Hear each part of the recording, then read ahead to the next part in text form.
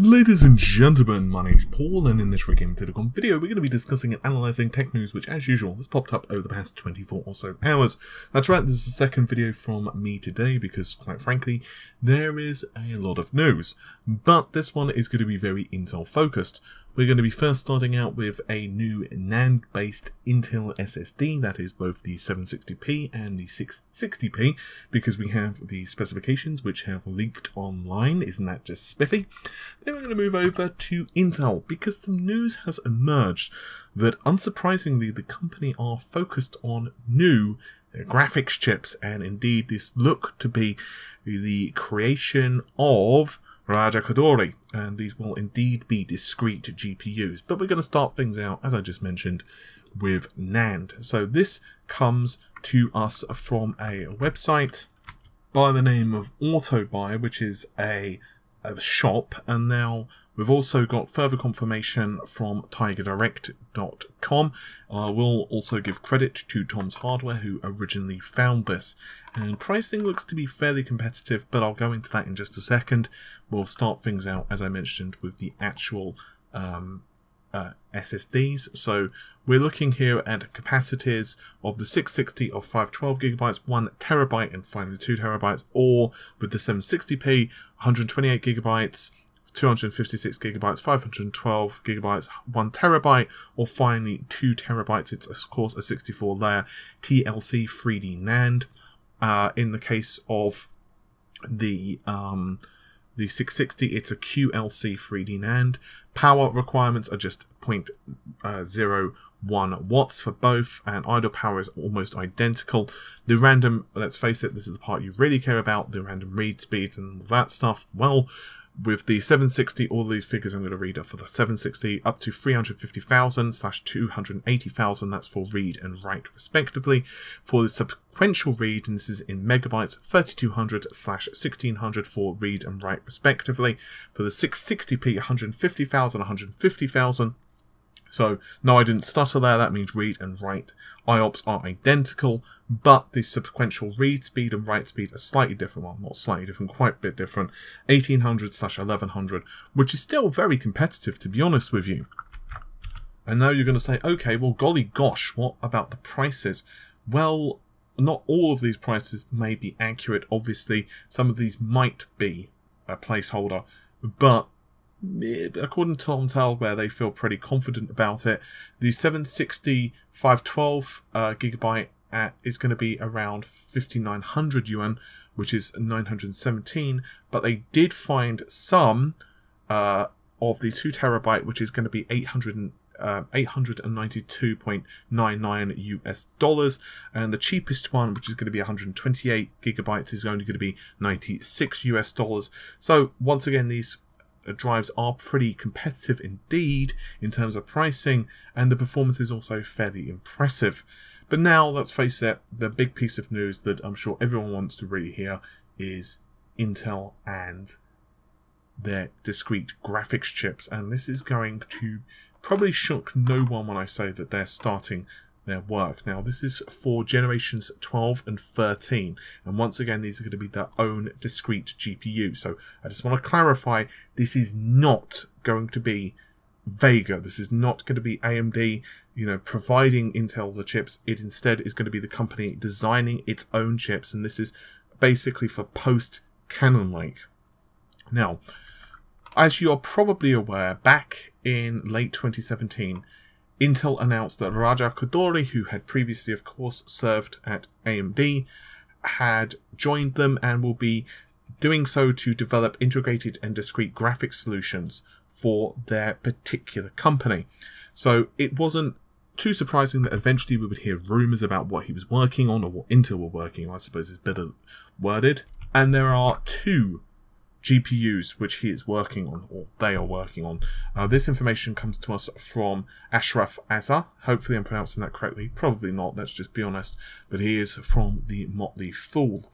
Now, there's no details about the specifications, so if you want me to tell you the teraflops and the clock speeds, unfortunately, I cannot do that. But what we can do is some speculation on what is going to be happening. So, Intel's Generation 13 GPU is based on, uh, sorry, Generation 13 based GPU is going to be codenamed Jupiter Sound. It's a very Intel name, let's just be honest. And the 12th generation discrete GPU is going to be codenamed Arctic Sound, and these will be connecting directly to the Intel processors via EMIB. So that's almost identical to how the solutions are currently working with the 8th generation, which, as you're probably aware, utilizes the RX Vega M uh, solution. I'll just go back a little bit. The first customer mobile solution of Vega is also utilizing HBM2 and it uses that with a power sharing solution and Intel's EMIB to produce a very very impressive amount of performance especially given the power um, the power levels that this thing consumes. It's only 65 or 100 watts depending obviously on the performance level that you're going with. That's with 4 gigabytes of HBM memory and 1024 bit interface which is very impressive to be honest I mean the sheer amount of performance you've got, it way out exceeds, excuse me, the base PS4 model, and quite frankly, is it, it, it's just very impressive. But there's a couple of questions. One, what memory is it going to be using? Well, let's just be honest, there's absolutely no reason whatsoever for them to go with, let's say, GDDR6. I think we can all agree that that doesn't make any lick of sense at all. I refer right now to a solution which is going to be very similar, the EMIB design. So most likely this is going to be a case of HBM3 uh, because it, by this time uh, the, these cards are available, this solution is available, HBM3 is the only logical option. I mean, technically it could be HBM4, but I don't think we're going to be that far into the future. Maybe, maybe. But, and I don't think there's going to be another memory unless Intel or someone else is working on something super secret. So I'm going to make the assumption that we're going to be seeing X amount of bandwidth with HBM3. Most likely, of course, that's going to be double the amount of bandwidth, which is going to be very impressive. Possibly a 4 or an 8 gigabyte memory solution, which by that point would also make a great deal of sense. In terms of performance level, that's where it gets a lot harder to predict. I mean, most likely we're going to be looking at possibly a 7 or a 10nm process, but obviously it also depends on how far Intel are along with this and also how confident they feel with the GPU. This is particularly true on the first generation of this, which is the 12th. Remember, there's two which are being designed. There's the Arctic and then there's Jupiter, both are sound. When it comes to the Arctic, they are probably going to be more tentative now, I'm not sure whether we can also have a generational difference. For example, uh, I'll use Vega because it's the simplest one. As you're probably aware, there's Vega at the moment, which is using 14nm, but it's been confirmed by AMD that they're working on a 7nm NM variant of Vega, if I can speak. The 7nm possibly might have a tweak here or there, but just like Ryzen and the 12nm LPP, so basically the question is, are we going to be seeing a situation like that? Or are we going to be seeing a completely different architecture with a completely different um, design entirely? Well, most likely the answer is, of course, it's going to be a tweaked variant of the architecture. Or the other possibility is one, the Arctic is going to be smaller. It's going to be, you know, designed once again primarily for integration of the um, next generation of Intel processors. And when it comes to Jupiter, it's possible that that is going to be a much bigger GPU. It's going to have a vast amount more shaders. It's going to have greatly uh, increased amounts of memory bandwidth, possibly uh, even with GDDR6 variants or whatever we have available at that particular time. And possibly that we're going to be uh, aiming to be introduced to the data center after all. That would make a great deal of sense, right? Intel would probably like to have a competitive solution, much like AMD, where they can have Vega and they can have a EPYC CPU, if you were to go that route, with AMD. And even taking AMD out of the equation, Intel must be thinking to themselves, well, gee, look at all the cash that Nvidia are making. And all you have to do is look at every single conference that AMD, I'm sorry, that Nvidia have ever run, and you can just see the dollar signs must be appearing in Intel's eyes because it's like, while the CPU is great for tasks which, you know, code is jumping all over the place, when you have just the GPU running uh, certain instructions where it just follows in order and it doesn't have to make calculations of like, okay, go from this task to this task to this task to this task and start doing like predictions and branches and all that stuff.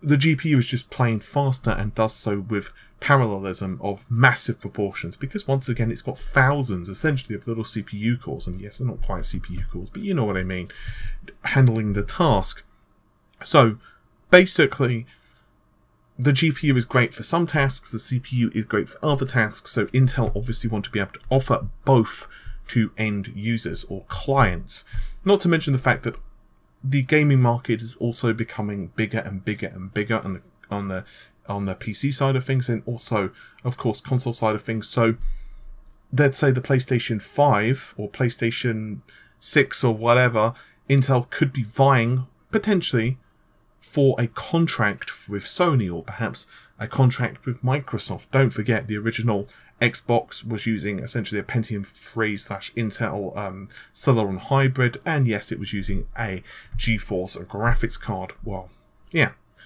so it's going to be a very interesting couple of months uh, to see how the rumours shape up, and longer than that, it's going to be very interesting several years. So I wouldn't be surprised if, when we see the first variant of this, once again, the Arctic, it's probably going to be using HBM3 at a guess. Um, and obviously it's going to put out considerably more performance than what the current generation does.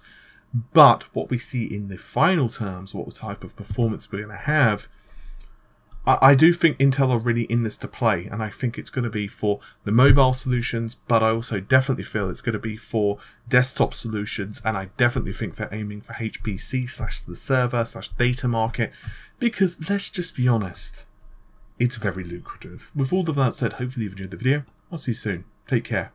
Bye for now.